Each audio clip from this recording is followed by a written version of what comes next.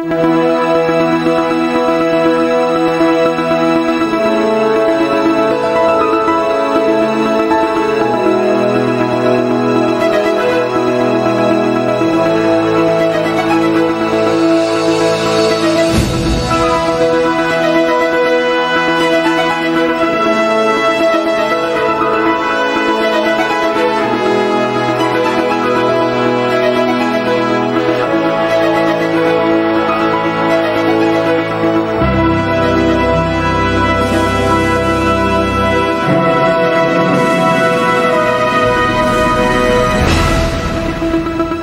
Desperate times call for desperate measures. In the most desperate hours of World War II, 80 volunteers stepped forward to try that which had never been done before to launch one of the most daring raids in aerial combat history by flying fully loaded medium range bombers from the deck of an aircraft carrier. It was a single mission of only 16 bombers. Its primary objective was to raise the morale of a nation stunned by the surprise attacks and sweeping conquests launched by the Japanese in December of 1941 by doing what was thought to be impossible at the time, bombing the Japanese home islands. As fate would have it, when they left the deck of that carrier in the nearly gale force winds of an early April morning, the Doolittle Tokyo Raiders would do far more than boost morale they would trigger a series of tactical errors by the Japanese High Command. Errors destined to change the outcome of World War II in the Pacific. 80 men, 68 years later, only six of them are still with us. Yet, their tradition dictates that all 80 of them gather, either in body or spirit, every year on the anniversary of that heroic and historic mission. Richard E. Cole, 95, from Dayton, Ohio, is the oldest surviving Raider. He was Jimmy Doolittle's co-pilot in the first plane to take off from the deck of the USS Hornet. Tom Griffin, from Green Bay, Wisconsin, was the navigator on Raider Airplane Number 9. Following the raid, he was shot down in Europe and spent nearly two years in a German prison camp. David Thatcher of Bridger, Montana, is one of two Raiders awarded the Silver Star for distinguished gallantry in action, for actions they took to save the lives of the seriously injured crew members aboard his B 25 airplane number 7. He is now 89 years old. Robert Hite, the co pilot of airplane number 16, was captured by the Japanese after the raid and sentenced to death. He was held for 40 months until liberated by American troops on August 20, 1945. He was born in Odell, Texas. Four men from the heartland, the northern plains, the mountain west, and the southwest. Men whose memories of an America united by the common cause of dire peril and those gained by flying a mission that would lift the nation's sagging spirits and turn the tide of war are as vivid today as they were in April 1942. And when we get together, it seems like uh, the raid was yesterday. It's great to see the ones that are still living, and uh, we pay homage to the ones that have passed on.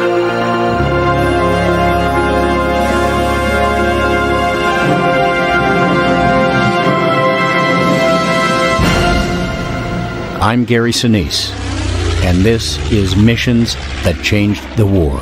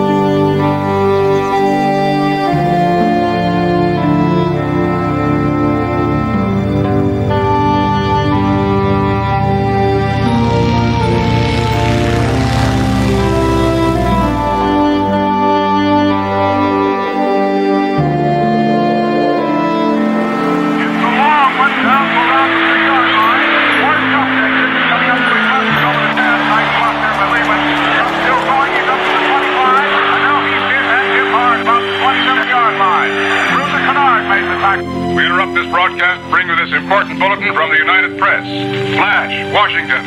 The White House announces Japanese attack on Pearl Harbor.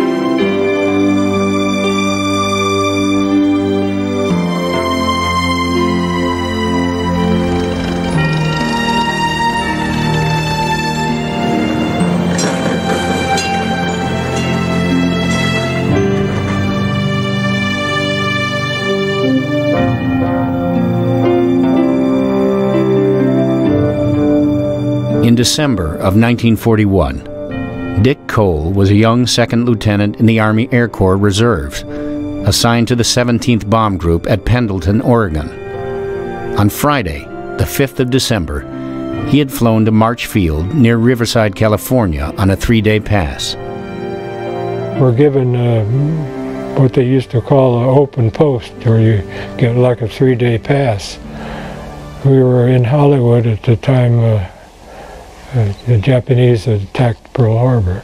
On uh, getting the notice that, uh, that that had taken place, we re immediately reported back to March Field and took off and went back to Pendleton. And from Pendleton, they divided the, the group up and we went on submarine patrol, flying out of uh, Seattle, Portland, Everett, Washington, and we did that until about uh, first or second week of February. While Tom Griffin was majoring in political science at the University of Alabama, he went through the ROTC program. After graduation, he spent a year with an anti-aircraft unit based at Fort Sheridan, Illinois. In 1940, he transferred to the Army Air Corps and was trained in celestial navigation. In January of 1941, he too was assigned to Camp Pendleton, Oregon. They didn't have room for the officers out at the field at Pendleton, so we went into town and the townspeople rented bedrooms to uh, quite a number of the Air Force officers. And somebody came in about 3.30 in the afternoon and came rushing in the room and said, isn't it awful? And we said, what do you mean awful? And they told us about this attack on Pearl Harbor. That's the first we knew of it. It's an odd thing. That night, we went downtown and went to a movie theater. There was a movie on we wanted to see. And while we were watching it, they stopped the movie and a man came up on the stage and said, all airmen from the field are ordered to report to the field immediately. But we got up and, and uh, departed and went back out to the field where our colonel gave us a little pep talk about what had happened and what was going to be expected of us, you know, that sort of thing. So that was my Pearl Harbor day. After graduating from Spring Lake High School in Earth, Texas in 1937 and completing three years of college, Robert Hite enlisted as an aviation cadet at Lubbock, Texas on September 9, 1940. He got his pilot's wings on May 29, 1941. He too was assigned to the 17th Bomb Group at Pendleton when Pearl Harbor was attacked. David Thatcher was 19 years old when he went from his father's dairy farm in Billings, Montana to Missoula to enlist in the U.S. Army because he wanted to get away from dairy for a while. He was in airplane mechanics school in Lincoln, Nebraska on December 7th, 1941. There was uh, 20 picked from the 17th group, five from each of the four squadrons that went there to go, go to airplane mechanic school. So some of us were in the movie then. That was Sunday, so when they came out of the movie in the afternoon, we heard it was had been bombed. No one expected something like that. The December 7th, 1941 was a Sunday. And Sundays in uh, flying school, when I was in advanced flying training at Victoria, Texas, um, three or four of us decided to go downtown Victoria and have lunch down there instead of eating in the mess hall. The base we were on was brand new. We had the BOQs were were uh, primitive, and uh, the mess hall was not in good shape, and so we took the chance to go and get a nice lunch downtown. Well, one of the fellows uh, had a car, and we were allowed to have them by that time in our training. If you're about to graduate, you could buy a car if you had the money to do it. And uh, he had a radio in it, which I'd never seen before in an automobile. And uh, we were riding around, getting back to the base, and the thing said that there was uh, uh, something had happened in Hawaii. And we just shrugged our We didn't know what it was. And we never really didn't know much about Hawaii.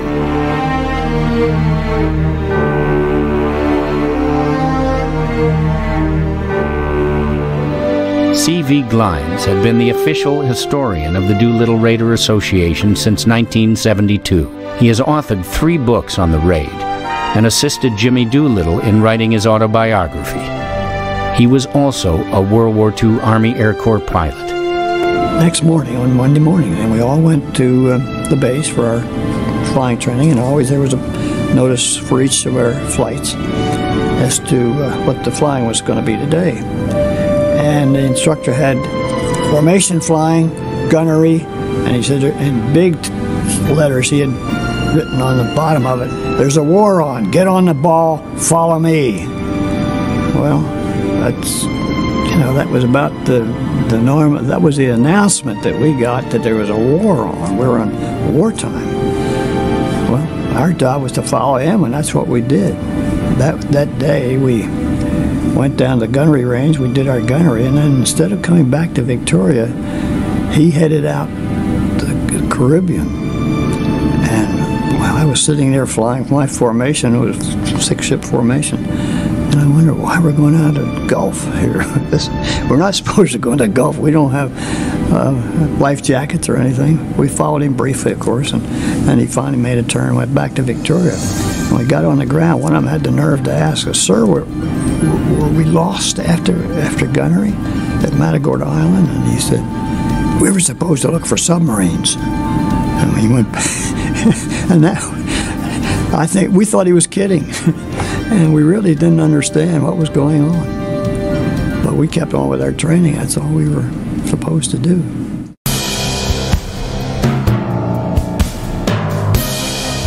In his now memorialized speech to Congress on December 8, 1941, asking for a declaration of war, Franklin D. Roosevelt called the attack on Pearl Harbor unprovoked and dastardly. In Congress, only Montana Congresswoman Jeannette Rankin, the first woman to be elected to the United States House of Representatives, voted against entry into World War II.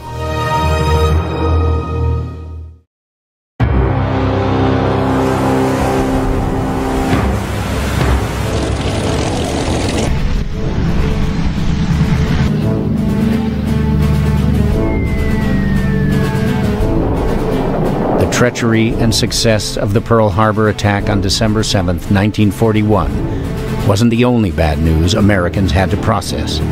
Yesterday, the Japanese government also launched an attack against Malaya. Last night, Japanese forces attacked Hong Kong. Last night, Japanese forces attacked Guam. Last night, Japanese forces attacked the Philippine Islands. Last night, the Japanese attacked Wake Island. And this morning, the Japanese attacked Midway Island. Three days later, on December 11th, Germany and Italy declared war on the United States. In an instant, the hope of avoiding war held so fervently in so many American hearts, was pulverized by a coordinated, multi-front onslaught that had been years in the planning after Pearl Harbor, there was nothing but bad news coming. The Japanese, uh, with a very small army, I mean, we, we look back today and wonder how they could possibly have done what they did with the number of troops they employed, but they employed them in such a clever manner in joint operations. The Japanese Army and Navy, which are infamous for not cooperating, were able to cooperate on this sort of island hopping, base hopping trip down through Indochina, down to Singapore.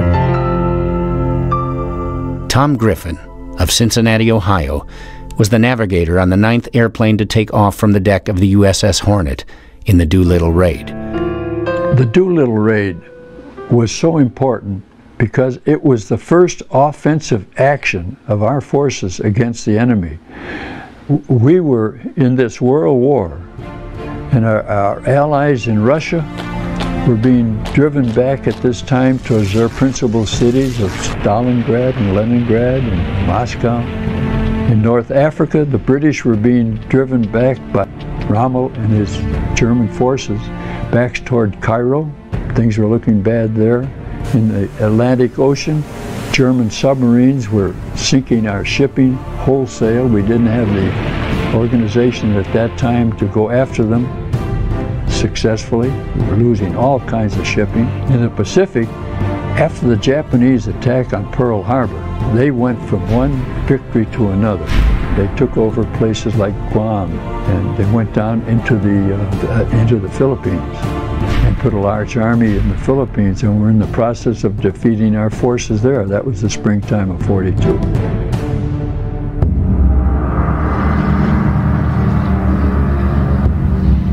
On December 7, 1941, a complete sense of betrayal consumed millions of Americans who had been arguing and demonstrating against America's entry into wars in either Europe or the Pacific.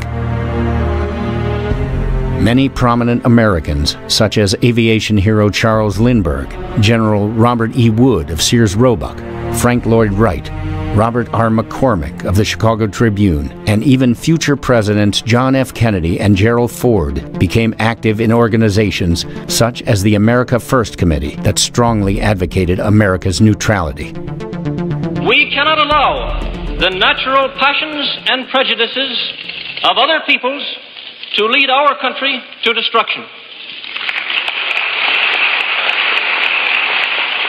The Roosevelt administration is the third powerful group which has been carrying this country toward war. The undeclared acts of war perpetrated by Japan on the 7th and 8th of December, 1941, brought the isolationist movement in the United States to a swift and bitter end. Four days after the Pearl Harbor attack, the America First Committee dissolved itself. Virtually overnight, America found itself at war on two fronts. No one was more determined to strike back at Japan than President Roosevelt.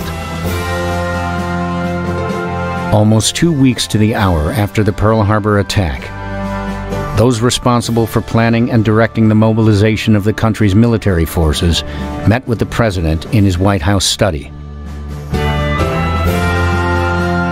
General George C. Marshall was Roosevelt's Army Chief of Staff. General Henry H. Hap Arnold was the Chief of Staff of the Army Air Forces. Admiral Ernest J. King served as Chief of Naval Operations. On this day, the trio would be joined by Harry Hopkins, President Roosevelt's special advisor, Admiral Harold R. Stark, Henry Stimson, Secretary of War, and Secretary of the Navy Frank Knox. Well, I guess the best way to get a joint mission is to have it come from the commander in chief, and uh, President Roosevelt was anxious to have some retribution. He wanted to know the people of the United States to know that we weren't flat on our backs and that we could do something. This is early in December, uh, maybe two weeks after Pearl Harbor.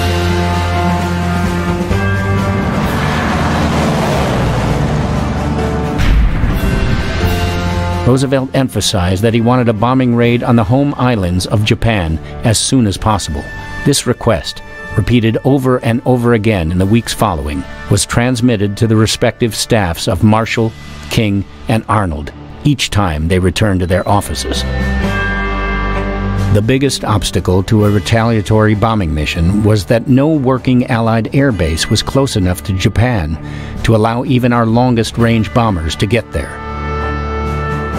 Ironically, the flash of insight that led to the Doolittle raid did not come from an aviator, but a Navy submariner.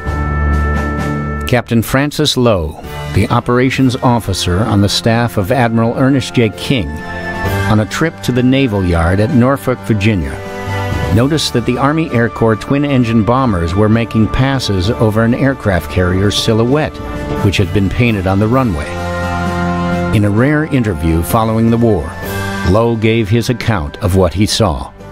I had occasion to fly from Washington to Norfolk to look into the readiness of one of our new carriers, And as we took off from the airstrip to return to Washington and was circling to gain altitude, I noticed down below me the outline of a carrier deck. This was not unusual because we had them painted on many landing fields so that young aviators who were going to carriers would learn how small such a deck was. But also making passes or appearing to make passes over this carrier deck were some twin-engine bombers that looked like B-25s or B-26s. Here was born, I would say, the, the concept of the raid. One might call it fortuitous association, because I never would have thought of it had I not seen the bombers passing over the carrier deck. Admiral King had been using the USS Vixen, a gunboat moored at the Washington shipyard as his flagship and second office. Several of his staff were working and living aboard the ship. On the evening of January 10, 1942, after King had retired to his cabin, Low decided to share his fortuitous association. King reportedly had a stern demeanor and was not easily approachable. Low was not an aviator. He did not know how the admiral would receive his idea. Low told King that though Navy fighters had an operating radius of only 300 miles off an aircraft carrier, in Norfolk he had observed twin engine Army bombers, which had a much greater range, practicing over the carrier profile on the runway. What if they could actually operate off a carrier? What if the Navy could give the long range Army Air Corps bombers a ride within range of the Japanese home islands, setting them up for a sea based strike?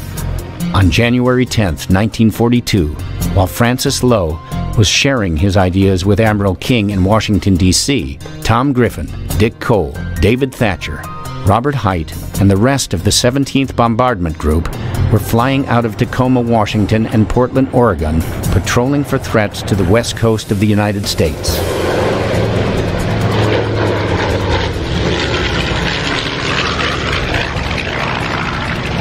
At the time of uh, Pearl Harbor, we spent the next six weeks, our, our group, flying out from Tacoma, Washington and Portland, Oregon, looking for whatever might show up. The Japanese had attacked Pearl Harbor, and as far as we knew, they would come and attack the west coast of America. But of course, they had other plans. They thought they had done enough damage and they, they could go elsewhere in the Pacific and uh, more or less uh, take over the Pacific, which they did. Back in Washington, somewhat to Francis Low's surprise, Admiral King directed him to talk to Captain Donald Duncan, King's Air Operations Officer, the very next morning about his idea. He added sternly, Don't tell anyone about this.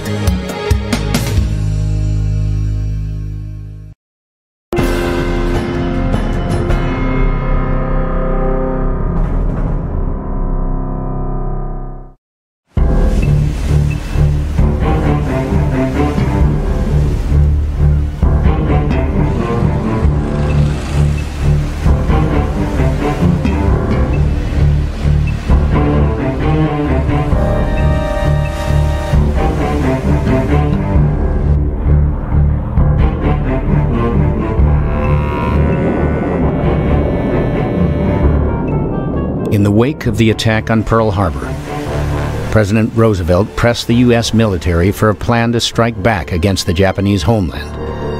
Francis Low, a Navy captain, after watching twin engine bombers making passes over the outline of an aircraft carrier on a runway near Norfolk, Virginia, suggested a bombing strike might be possible from the deck of a carrier.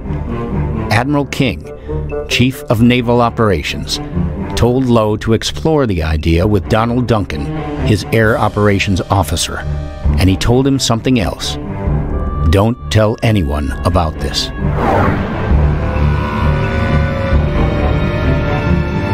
Low had two pertinent questions for Duncan. First, can an Army medium range bomber land aboard a carrier? Second, can a land based bomber, loaded with bombs and crew, take off from a carrier deck? The answer to the first question was a quick no. The risk of landing airplanes that size on a carrier was too high, but even if it were possible, the elevator would not be able to get the bombers below decks to make room for other landings. But a carrier takeoff? That was another matter. In this rare archival footage, Duncan recalls being contacted by Low. When Captain Low, the operations officer on Admiral King's staff, told me that he and the Admiral had been discussing the possibility of launching Army bombers from carrier decks to hit Japan, and told me that the Admiral wanted me to investigate it and write up a concept of operations. Checked over the various types of Army bombers that we might use and came up with the answer that the B-25 was probably the best bet. Uh, they looked at a bunch of airplanes. Uh, the B-18, which was a terrible airplane for a bombing mission, uh, and uh, the B-26, which had a suspect reputation. But the B-25 seemed to fill the bill, the North American B-25. When uh, the B-25 came about, uh, it was like a, a, kick in the pants uh, as far as maneuverability and speed and fun to fly. The Mitchell B-25 was one of the iconic success stories of World War II. By the end of its production, nearly 10,000 various models of it had been built. It was used by the Allied air forces in every theater of the war. It served across four decades. The B-25 is developed by North American Aviation with a very easy airplane to fly. Uh, it was far easier to fly than the Marauder, the B-26 Marauder. Had a much lower wing loading, and with the lower wing load, it could get off in shorter distances. The Marauder needed much longer runways, had to land a lot faster airspeeds. Uh, but you could take a young pilot right out of advanced training with a couple hundred hours in his logbook, put him in B-25, very quickly transition, learn his combat skills, and send him off to war as a competent combat pilot. The B-25, properly modified, could carry 2,000 pounds of bombs and make a 2,000-mile flight if extra gas tanks were installed. Normally, it would take at least 1,200 feet of runway with that kind of load. If it were lightened, however, it might be made to leap off in a little over a third of that distance, especially with the forward speed of a carrier and a wind of about 25 knots. Low and Duncan knew a test would be required. Under normal circumstances, such a test flight would not be difficult to conduct. But these were not normal circumstances. Both men had Admiral King's words ringing in their ears. Don't mention this to another soul. On January 31, 1942, Captain Duncan flew to Norfolk. The USS Hornet, the Navy's newest aircraft carrier, was due there to be readied for her first mission. He went aboard the Hornet the afternoon of February 1st and explained the test to Marc A. Mitscher, the Hornet's skipper. Duncan had made arrangement with Hap Arnold's office to have three B-25s waiting when the carrier arrived. The Army Air Corps chose Lieutenant John Fitzgerald to head the test crews. He was a 1940 graduate of the Advanced Flying School with over 400 hours in B-25s. In Norfolk, Fitzgerald and his fellow pilots made several practice runs at an auxiliary airfield before going aboard the carrier. One of the test airplanes lost an engine during these drills, leaving only the two planes flown by Fitzgerald and Lieutenant James F. McCarthy to make the historic first takeoffs of Army Air Corps multi-engine bombers from a Navy ship. The surprising performance of the B-25 nearly led to disaster when the takeoffs were attempted. Fitzgerald's plane leapt off the deck so quickly and so high, its right wing nearly flew into the tower that overhung the flight deck. Fitzgerald later recalled, I was surprised to observe that we had been provided almost 500 feet of usable deck and that the plane's airspeed indicator showed about 45 miles per hour just sitting there. When I got the go signal, I let the brakes off and was almost immediately airborne. One thing that worried me, though, was the projection of the island out over the flight deck. The wing of my plane rose so rapidly that I thought I was going to strike this projection. I pushed the control column forward, and the wing just barely passed underneath. I climbed and circled back to watch Lieutenant McCarthy take off. It was now established that the B 25 bombers could indeed take off from a carrier deck. But what would happen when they were weighted with a full crew, bombs, and an expanded fuel load? That question would soon become the sole focus of the diminutive, brilliant man whose name would eventually be memorialized by this mission that changed the war.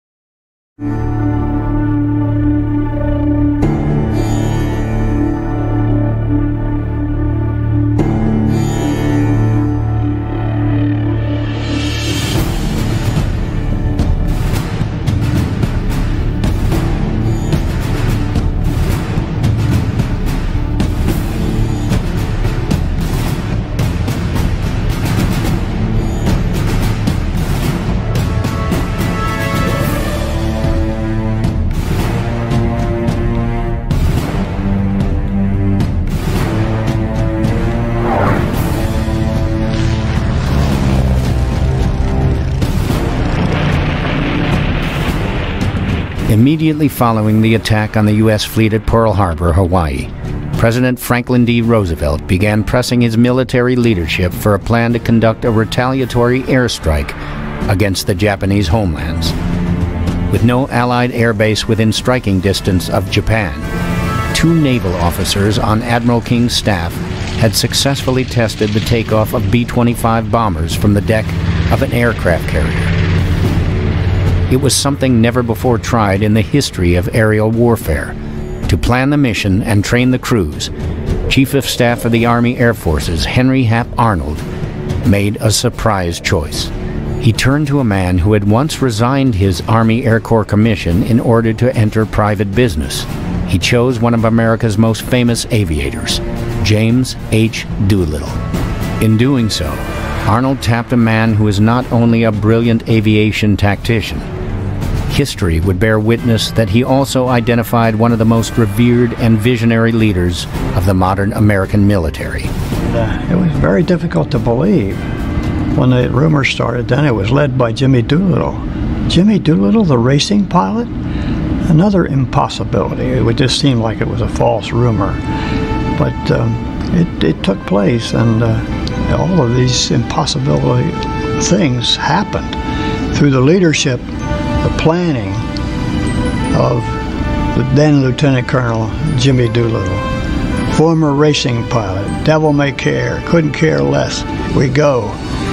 It was not that way. He was master of the calculated risk. As a kid growing up in Dayton, Ohio, Dick Cole used to ride his bicycle to a levee above McCook Field to watch the Army Air Corps test pilots including Jimmy Doolittle. Some of the old pilots like Macready, Doolittle, and Spaatz uh, flew in and out of there uh, when they were testing uh, air-to-air -air refueling. And they flew for 26 days, something like that. But anyway, that was one of the, the uh, uh, pastimes that I had when I was a kid for something like this, there's an element of show in it. There's an element of um, innovation, and they, they selected the guy who could combine leadership and innovation and great flying characteristics in Jimmy Doolittle. And oddly enough, uh, sort of on the outs, uh, Jimmy Doolittle at the time uh, had rejoined the Air Force, but he had gotten out because after I think it was 11 years as a first lieutenant, he decided he had to make some money for his family and, and got out during the 30s. And to the hardcore who had stayed in, including General Arnold, uh, that wasn't the thing to do. You know, he, he, he was sort of uh, not uh, in the best favor at the time. James Harold Doolittle was born in Alameda, California on December 14, 1896. His father was a carpenter who went to Alaska in search of gold. After joining his father in Nome, at age 11, Doolittle moved with his mother to Los Angeles. In 1917, at the age of 21, Doolittle, who had had a brief career as a professional boxer, enlisted in the Army Signal Enlisted Reserve Corps to train as a pilot. He was quickly promoted to lieutenant. He served in the Army Air Corps from 1917 to 1930, when he became a major in the Army Air Corps Reserves.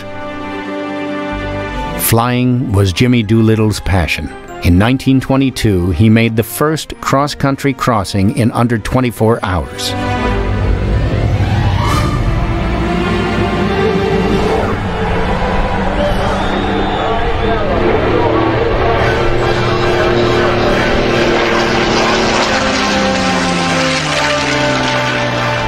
He became the first person to win all major aviation racing trophies.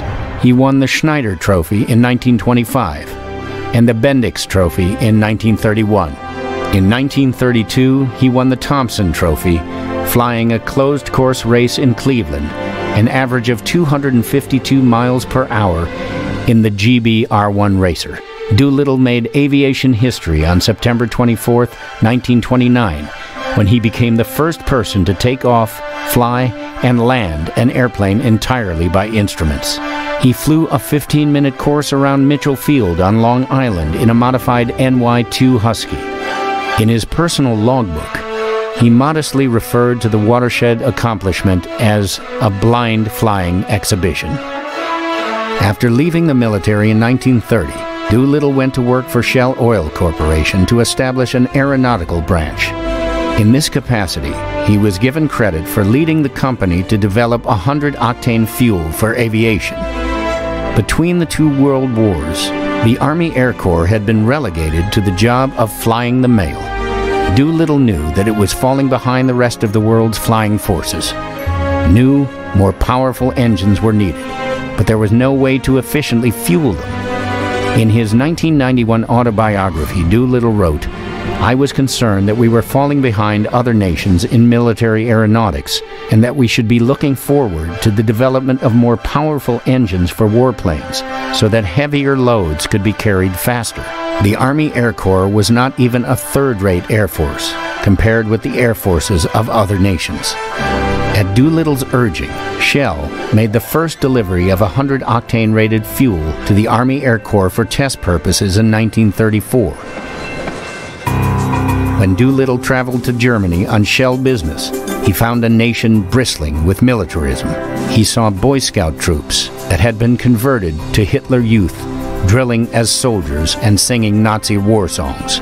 He met German pilots who openly talked of the inevitability of war in Europe and who bluntly asked him what the United States would do about it.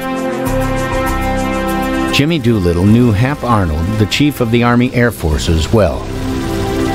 Arnold had been his commanding officer at Rockwell Field near San Diego following World War I. Doolittle visited Arnold and told him he believed that America's involvement in the war in Europe was inevitable. September 1st, 1939, two weeks after Doolittle's conversation with Arnold, the Germans marched into Poland and 1,400 Luftwaffe planes bombed and strafed a stunned population. In May of 1940, the German blitzkrieg extended into the Netherlands, Belgium, and France. On the 16th of May, in a speech before Congress, President Roosevelt called for a program that would eventually produce at least 50,000 airplanes a year. A little over two weeks after that, on June 4, 1940, Ira Eaker, General Arnold's executive officer, wrote Jimmy Doolittle asking him to return to active duty on July 1st. At 44 years of age, Jimmy Doolittle became a U.S. Army Air Corps officer for the second time, beginning a journey whose outcome was far from certain. Jimmy Doolittle was a tremendous man, uh, a big man in a little man's body, you might say. Uh, very intelligent, never seemed to have any element of fear in his makeup whatsoever. You know, he had he had occasion to fly the wings off of two planes he had to bail out of in the 1920s, those old crates. And then, of course, over to China, he bailed out again. And we thought, boy, that old man, 46 years old, bailed out of aircraft. But he was a, he knew no fear, and he was just an outstanding leader in every respect. Well, I think people don't realize that Jimmy Doolittle had a doctorate from MIT that he had earned, Doctor of Science degree in aeronautical engineering.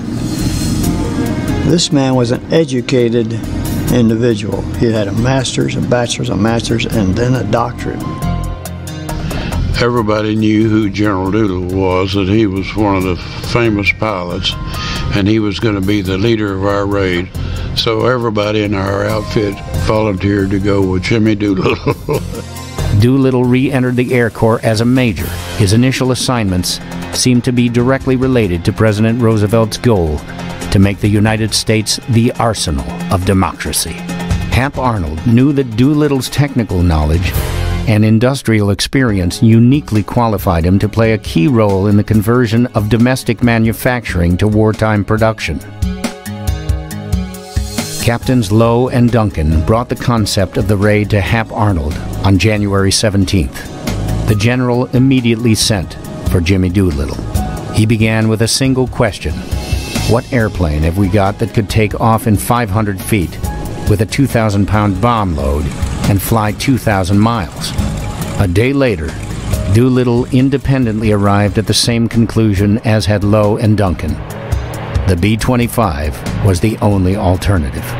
Arnold briefed Doolittle on the concept of the raid and added, Jim, I need someone to take this project over, get the planes modified, and train the crews. On January 2, 1942, Japan captured Manila in the Philippines. On January 12th, Japan invaded Burma. On January 20th, Germany held the Wannsee Conference in a Berlin suburb to find a final solution for the Jews. On January 25th, Japan invaded the Solomons. In the 13th century, Mongolian invaders were driven back from Japan not by defenses, but by the Japanese typhoon season. Since that time, the militarists in Japan had told the people that a kamikaze, or divine wind, protected their nation.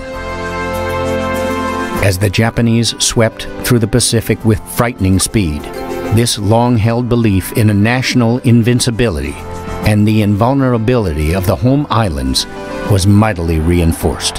What the Japanese High Command did not know was a half a world away, an aeronautical genius with a gift for leadership, and 80 brave souls who had come under his command had a bold plan to shatter that facade. In doing so, they would receive a life saving lift from a divine wind of their own, a lift that would allow them to complete a mission that changed the war. When they announced that they wanted volunteers, the whole group volunteered, including the, the uh, group commander. And everybody in the 17th bomb, we were in the 17th bomb group, wanted to go with Jimmy Doolittle.